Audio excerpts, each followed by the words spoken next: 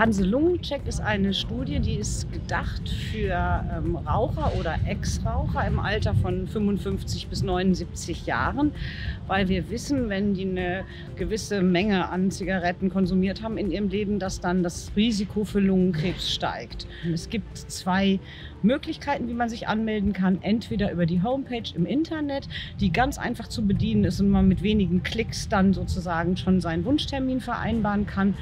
Ähm, darüber hinaus schreiben wir aber auch die entsprechende Bevölkerungsgruppe postalisch an, laden die persönlich ein ähm, und dann können sie sich auch telefonisch oder schriftlich anmelden. Also die Wege sind da ganz ähm, mannigfaltig, wie man an uns kommt. Ich finde das großartig, dass es hier gemacht wird.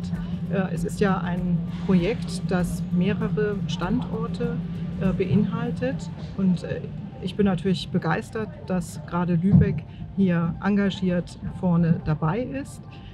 Insbesondere deshalb, weil ja auch die Untersuchungen sehr viel zu tun haben mit KI, mit Bildgebungsverfahren. Das ist ein Schwerpunkt, den wir hier in Lübeck haben, den wir implementiert haben. Und natürlich ist es absolut begrüßenswert, dass wir hier weiter vorangehen.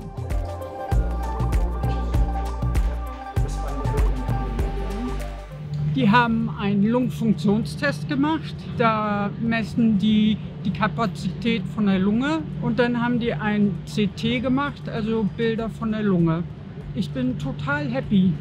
Durch eine Bekannte bin ich da rangekommen und ich bin sehr froh, dass ich an dieser Studie teilnehmen konnte, weil das ja keine IG-Leistung der Krankenkasse ist und äh, für mich zu wissen, wie es mit meiner Lunge aussieht, zumal ich ja Raucher bin, ist es äh, ganz wichtig, da ich auch noch andere Erkrankungen habe und da wüsste ich gerne Bescheid.